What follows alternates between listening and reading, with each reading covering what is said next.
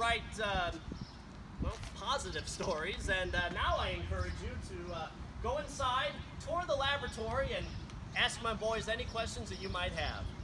Well, thank you so much for your time, folks. You've been a most delightful group, and uh, I have to drop these off into the office. But it's back to work. Let's go work.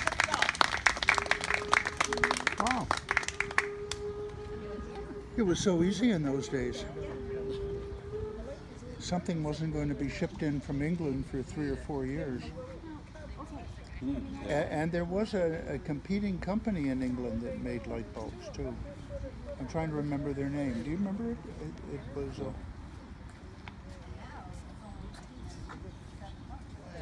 Which way now? Yeah.